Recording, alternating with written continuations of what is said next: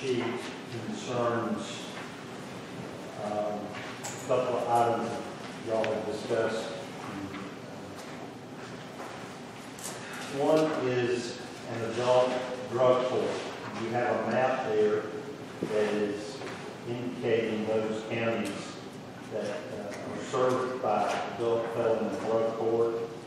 Um, And those are marked in blue, the areas in white, obviously do not have those type courts. And those in pink uh, are served by felony as well as the misdemeanor drug court.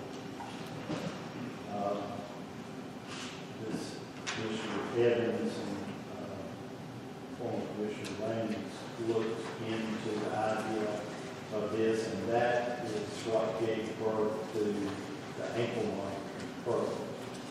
Um, You also have the next page, map indicating those counties that have DUI court.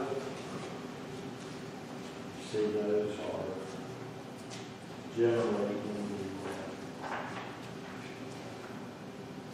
metro area, you have some Bulloch, Liberty, Chatham. And then you have the juvenile court court. You see those. uh, And the last is a map indicating those counties certified as adult mental health. Um,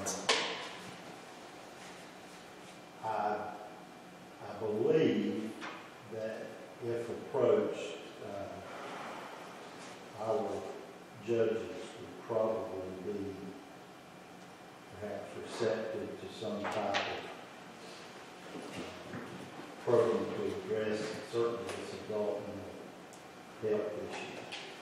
Um, it Depends on your interpretation as to the need for that. I just believe there's some reasons that they would be receptive to it, but then, uh, there has to be an allocation of funds to do that.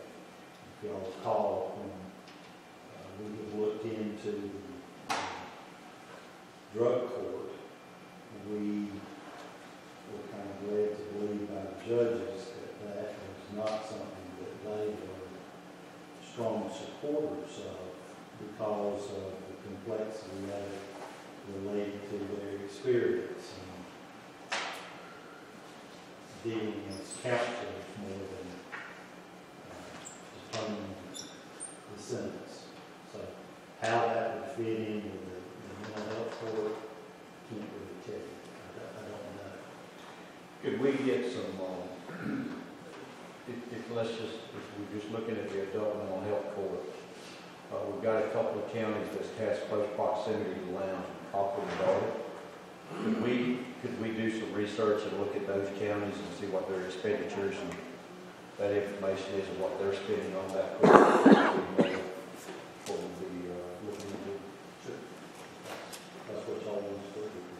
My my concern is even when you was trying to get people, um, some of our judges, they should, they, they look at their circuit. I'm sure that everything a circuit, there are some drug courts located in some of their circuits, right? Um, there was, um, you- you see their commission, um, in Ware County, who former Judge initiated that court in Ware County. And called, and spoke to him, and he was very encouraging. And it really depends on the judges at that particular circuit as to enthusiasm for it.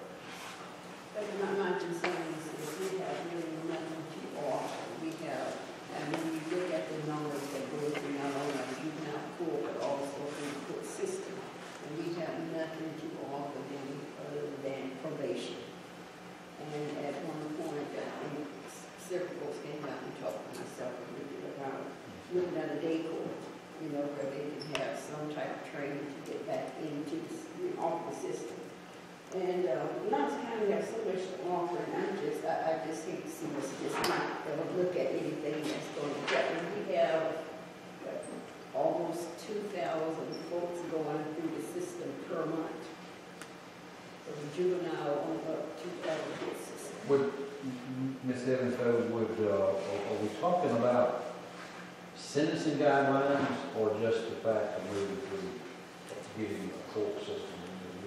Well, the drug court system, I, I think we have had training, because this young lady down from Fitzgerald when it came from the Red Cross, and let me sit down and talk, there's a lot of paperwork that go through, but with the drug, uh, day camp, which more or less just provide training for them to get back in the system and off of the system, is something that the governor has million dollars that was available for that system, and I don't think anything, look at that revenue.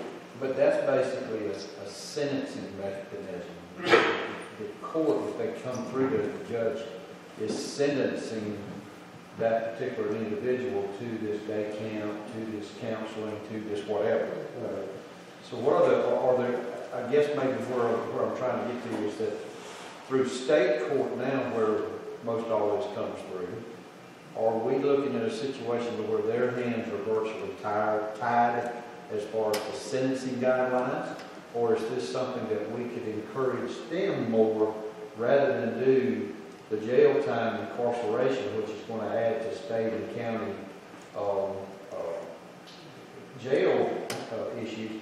Could we not, is there some encouragement there that possibly there would be some flexibility on the sentencing guidelines to sentence them to You more could, to counseling? I and don't have sort of any thing? system, you don't have anything like that. I, I think he can, he or she as the judge can sentence them to that if that facility exists.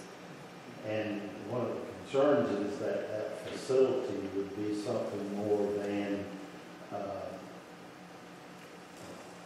quote, study hall. I mean, you Well, that's what you know- I'm getting at. We're not really talking, we call it a drug, drug court. We're not talking about a court system. We're talking about a counseling But, system. but the court, That's yes. To answer your question, the court would sentence that individual to this program as opposed to incarceration. Right, okay. So so they would, they would go every day, they would get counseling every day, they would get encouragement every day of how to, So we don't have, or you telling me then there's no, we don't have any kind of drug intervention, drug type? there was a program that, uh, if I recall, state funded, it was in Thomasville, I believe. Day center in Mossville. And so we were looking at the possibility of how we might could obtain those funds. And then if you did, where would you locate? it? Well, the old school out at uh, Pine, Pine Grove. Well, then the comment was, wait a minute, you know, those individuals that are going to be impacted are not going to be able to get out there, it's out, it's too far out, the the residents in that area are not to want it there, so, you know, is that a good use of that property? Um, But the state picked certain areas, and Thomasville was the area down here, we were not. Now, what I was told was, it's a great idea, and and we think y'all should do it. By the way, it's on your time, you're not gonna give any money. So, again, Okay, and, and I'm just, I'm trying to help get through this thing, but we now have, I know in Lowndes County, I mean, if, if you have a DUI, you can be, you can, part of your sentencing would be to, to attend DUI school, which we have schools that provides that service for those individuals. That's, as a private business doing it. then if you create a situation, are they, are they, are there agencies, uh, private, private agencies, private groups out there that you would be able to send a drug offender to, to get this counseling, to get this, rather than incarcerating? You tell them they have to go to drug training, and this drug training, let's just say it's at Greenleaf, or whatever it's called now, I'm not sure, but that's where you go. You know, You go there to get this stuff. And you, have And I for I it. remember what, Offender has to pay for it. That Yeah, pays yeah. forty dollars per, per Yeah. week per training. now, Yeah. I, I I recall what what Commissioner Henderson talked about at, at the ACCG, ACCG class.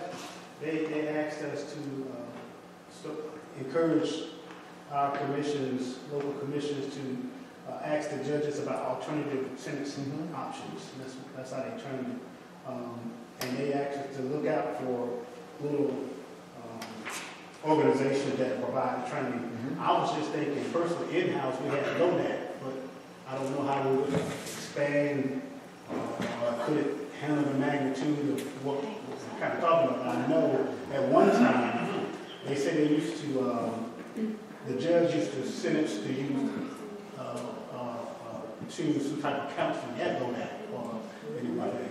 And, uh, LoDAC, that's how it was given birth.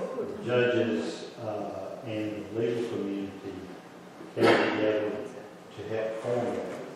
Now, it is funded by fees that are, uh, as we looked at yesterday, attached to drug-related products. Those numbers have dropped off the table. And the funding for those continue, even though you say, well, there's more crime, that, I'm not arguing that, I'm just saying the fees collected are less, for whatever reason. So, yes, LoDAC could do it, perhaps, but it would not be able to do it with the current resources. Well, the those fees are less, based on what we've got terms of court system and probation, that with employees so low and economy so bad, you have higher number of offensive, offenses because you've got more theft and all that going on.